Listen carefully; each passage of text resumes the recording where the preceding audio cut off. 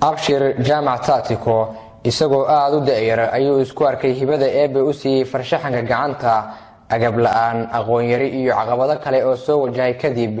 Dabayaaqadii sannadkii ayuu soo saaray sawiradii ugu horeeyey ee baraha bulshada ka soo muuqda. Farshaxanku wuxuu igu dhashay ama soo bilaabay yaraanteedii kaas oo ahaa hibo aan isku arkay.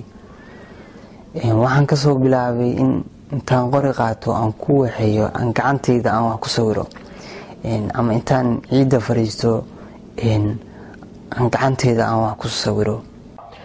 Waxa uu la jaan qaaday waaga cusub ee u beriyey barbaarta soomaalida ee burburkii dhashay kadib doorashadii soomaalidu u riyaaqday ee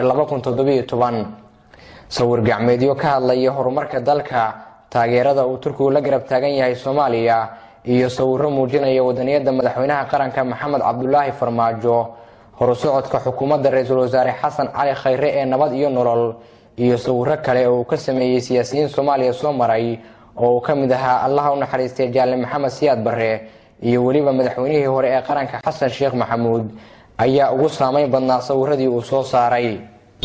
Waxaan sawir ka sameeyey madaxweynaha soomaaliya maxamed cabdulaahi farmaajo sawirkaas oo aan guddoonsiiyey waxaa sidoo kale sawir ka waxeeyey ra'iisul wasaare khayre caalimka weyn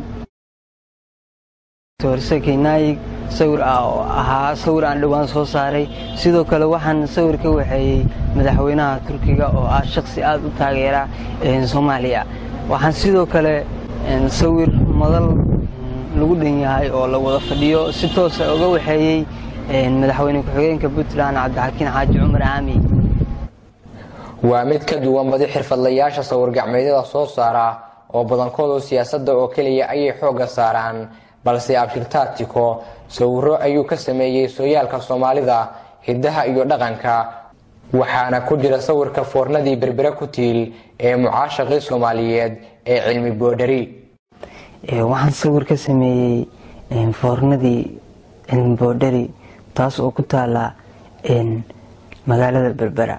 Sawirkaas oo weliba anoo agtaagan aan u waxeeyey siniyada inkastoo badanaaba dhallinyarada soomaaliyeed aanay u soo jeedin xirfadda sawir gacmeedka haddana farshaxamiistaha ayaan weydiiyey su'aal ahayd.